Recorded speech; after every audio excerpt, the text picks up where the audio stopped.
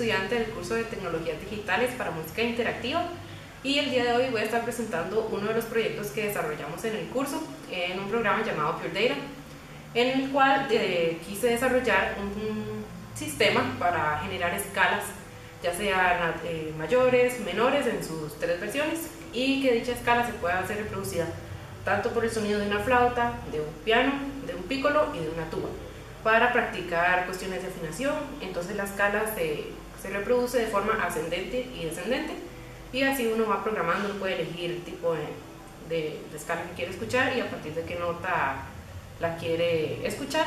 Y también la del sistema está programado para que toque una nota raíz en un intervalo de unos un segundos y ya luego empieza a reproducir la escala.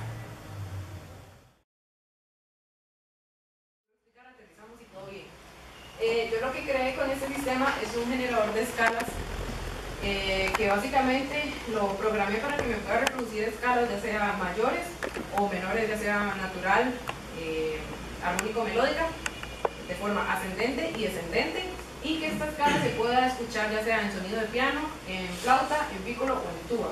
Es como muy afín de uso personal para practicar cuestiones de afinación. Entonces el sistema, yo elijo una nota raíz él reproduce esa nota por un intervalo de unos dos segundos y luego empieza a reproducir la escala. La idea es que yo lo hice como para practicar cuestiones de afinación y poder tocar al mismo tiempo que siga reproduciendo la escala. Entonces uno escoge la escala, eh, escoge el tipo de escala que quiere que reproduzca el sistema, el instrumento, en este caso no puede ser el piano, y el botón verde de arriba es el de inicio, entonces él ahí va a reproducir la nota la raíz y luego empieza con la escala.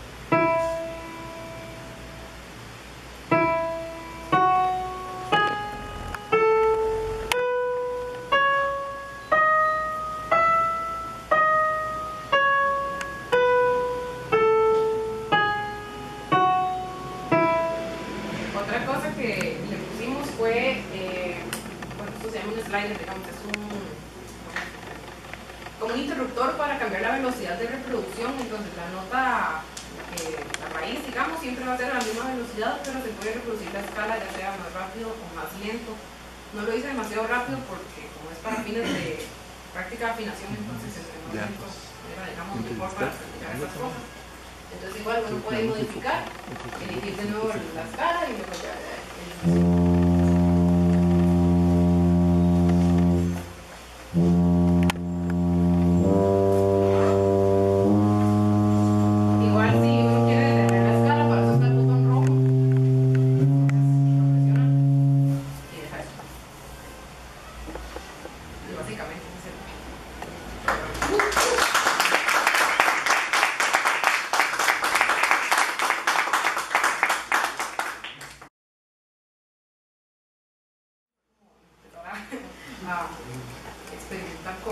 música digital, eh, creación de música con efectos y esas cosas.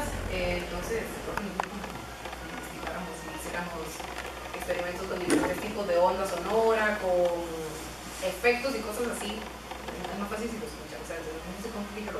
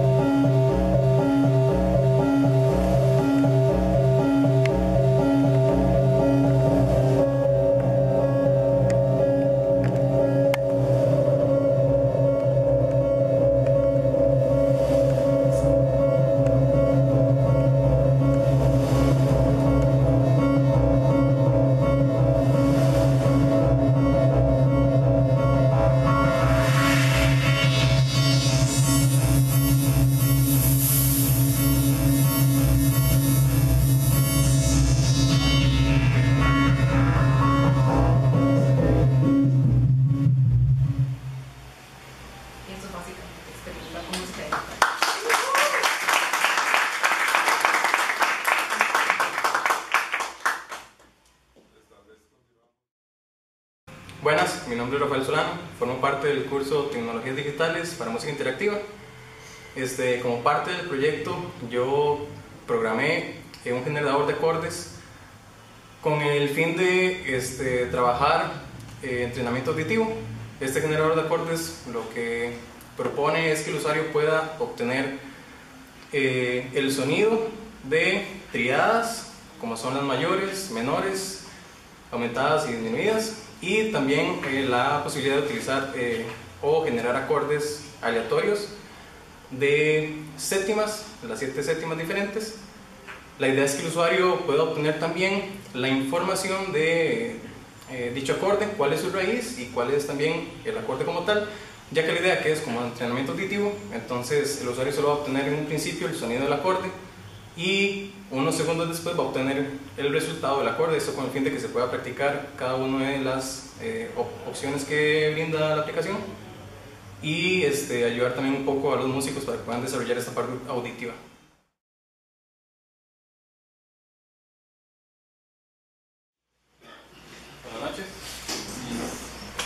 Bueno, igual siguiendo con el Pure Data, eh, creo que eh, los que participamos en este curso, los proyectos que hicimos fueron muy personales. Yo justamente estoy pasando por la sofía del perro. Entonces, eh, se me ocurrió hacer un género de acordes. en el sorteo, la parte auditiva es súper importante. Entonces, el entrenamiento auditivo en este caso, cada uno de los proyectos relacionado con esto. Este específicamente lo que busca es que uno, el usuario, pueda seleccionar, hay dos botoncitos que dicen triadas o séptimas, uno pueda escoger entre mayores, menores, disminuidos, aumentados y suspendidos, o entre las siete séptimas. Eh, al final es casi como una prueba, ya que el acorde se va a reproducir, va a sonar el acorde, pero uno no va a saber qué acorde es. Va, se va a mostrar la raíz en un primer instante y va a haber un lapso de segundos en donde uno pueda este, analizar el acorde, pueda pensarlo y entonces llegar a una conclusión y unos segundos después, exactamente 5, se va a mostrar la respuesta del acorde. A mí también, pero por ejemplo, este tipo de objetos, si se modifican, eh, está programado por milisegundos, entonces con eso podemos aumentar el tiempo de, de la respuesta en caso de que necesitemos más, por ejemplo. Eh, Entonces sí, el funcionamiento sería, se escoge o triadas o séptimas, se le da un nuevo acorde.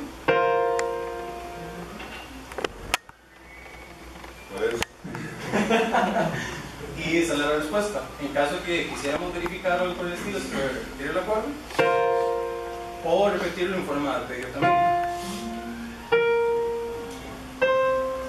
Y también de igual manera, si digamos, si no entendieron muy bien la forma de utilizar el programa, hay un pequeño paso de ayuda donde se explica cada uno de los botones y todo, el funcionamiento.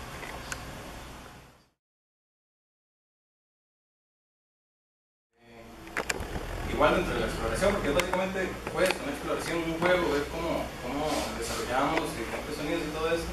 Y justamente creo que lo mío está muy influenciado por el curso de paisaje sonoro que llevé con, con el profesor Otto, que es básicamente encontré un sonido parecido a una oropéndula, que es un paro muy normal en donde yo vivo. Entonces, cuando llegué a ese punto, lo que hice fue explorar un poco con el paneo, con el volumen y unos picos de intensidad para que se denotaran diferentes colores del, mismo, digamos, pajarito.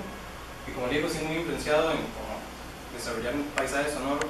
Es muy interesante porque hay un fenómeno que a mí me gusta mucho por donde yo vivo y es que, por general, hay tres puntos de encuentro de las oropéndulas y a las 5 de la tarde llegan todas a descansar en un mismo árbol. Entonces, es un montón de oropéndulas, un sonido, las, las, este, todas las oropéndulas llegan, es como dos minutos, se quedan en el árbol ya ahí hasta el otro día, ¿verdad? Entonces, casi como la llegada de esas oropéndulas, digamos, al arbolito.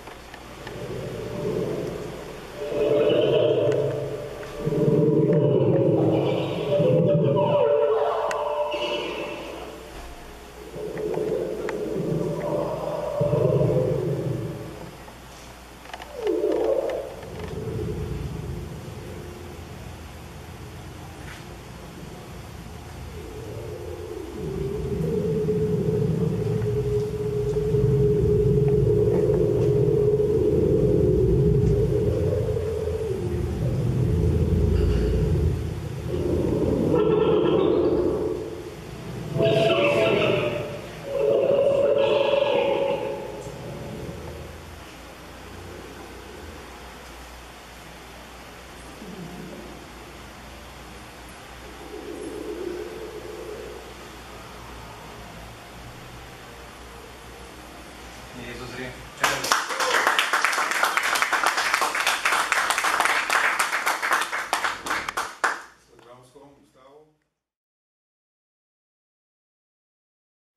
Hola, mi nombre es Gustavo Watson y eh, soy parte del curso de tecnologías digitales para la música interactiva.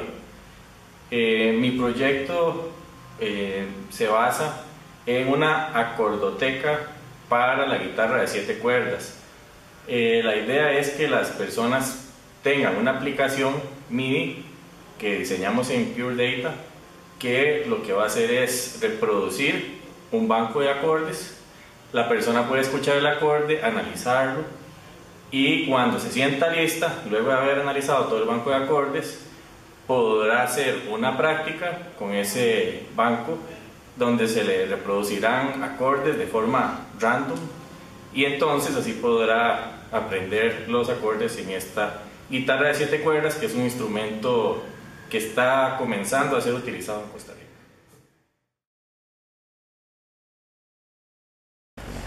Bueno, primero agradecer a los, a los profes que nos dan la oportunidad de exponer esos trabajos eh, y contarles que por lo menos a mí el, el, curso, creo que a los compañeros también, pues lo que llegamos al final nos arruinó el, el tema, la experimentación y, y, ojalá que estos cursos sigan creciendo en, en la universidad.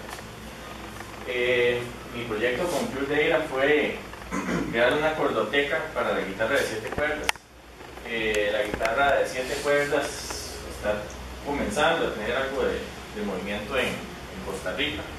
Hay algunos guitarristas que están utilizando este instrumento y mi idea fue pensar en una aplicación MIDI ¿verdad? que funcionara como una herramienta de, de aprendizaje de ciertos acordes para que, para que digamos, los guitarristas generalmente tocamos la guitarra de seis cuerdas, podamos empezar a utilizar la, la séptima, ¿verdad? la séptima cuerda.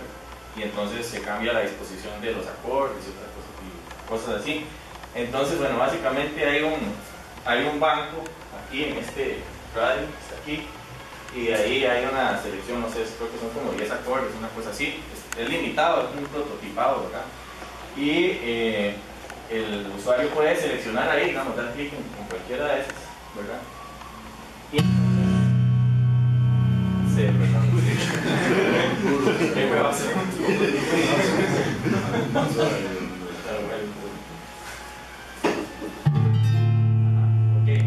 Entonces, eh, lo que va a suceder es que por acá hay una caja de listas que va a demostrar, digamos, bueno, a, dar el, cifrado americano, nombre del acorde, ¿verdad? Como guía para el usuario.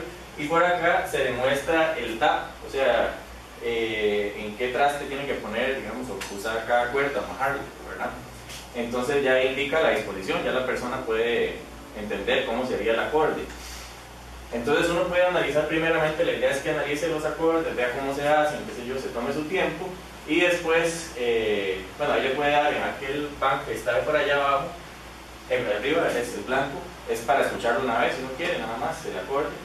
Y y allá arriba en aquel slider, ¿verdad? Ahí uno puede hacer que sea más plaqué o como más arpegiado, más lento en el tiempo, ¿verdad? La curva. Entonces uno lo puede practicar. Y pues la idea también de este último bank es que ya cuando la persona está lista, ¿verdad? Entonces dice, bueno, ahora sí le pongo práctica y entonces ya va a salir, van a salir los acordes de forma random, digamos.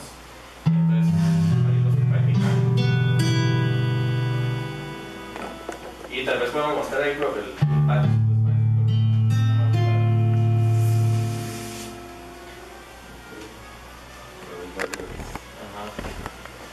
Sí, bueno, ahí primero, ah, bueno, ahí yo traté como de explicar qué fue lo que más o menos fui haciendo y fui entendiendo, ¿verdad? Esto de, de Data y en este caso específico.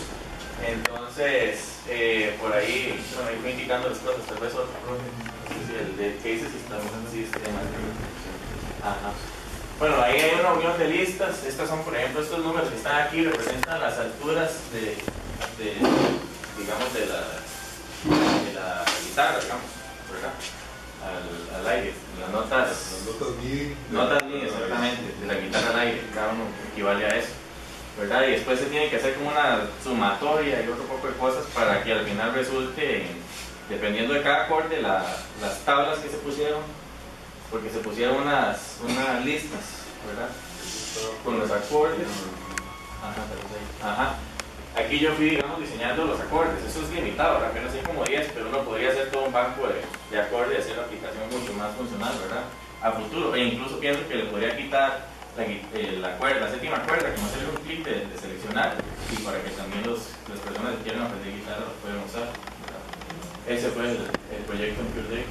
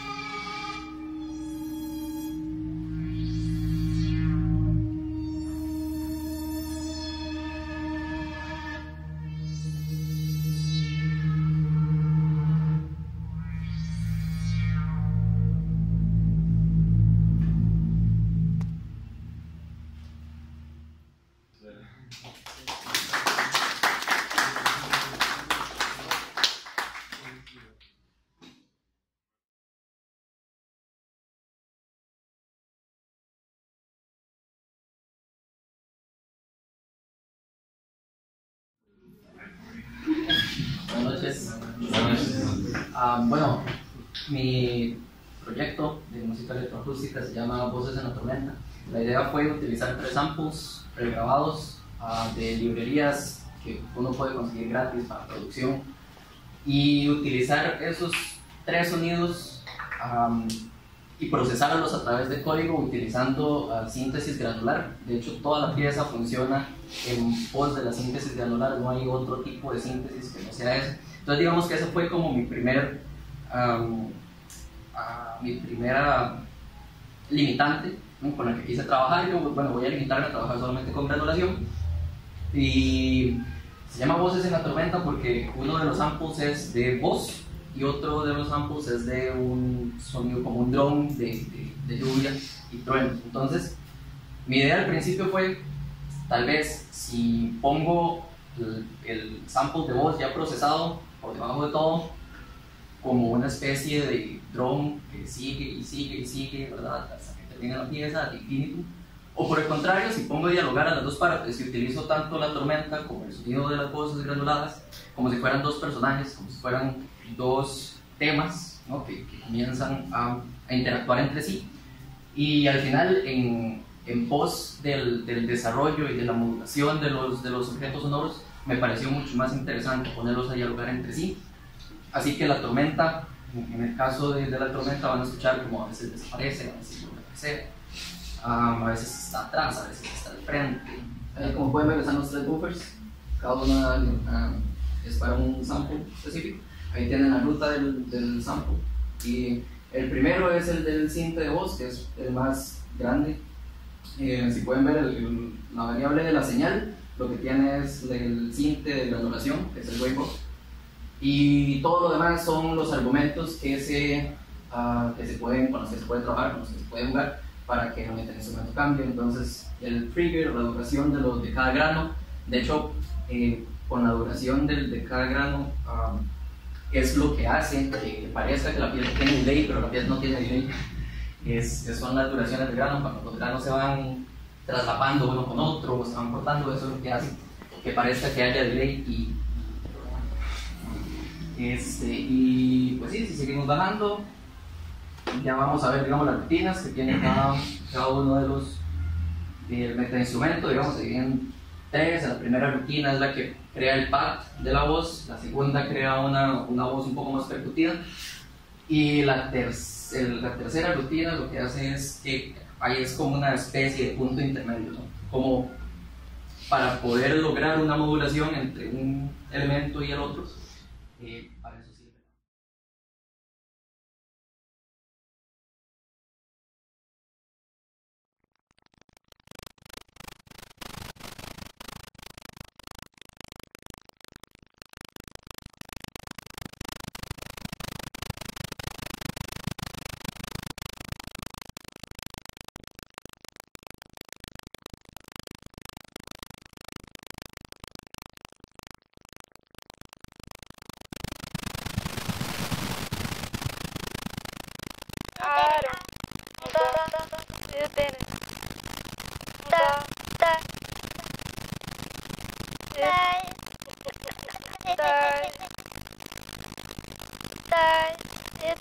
yo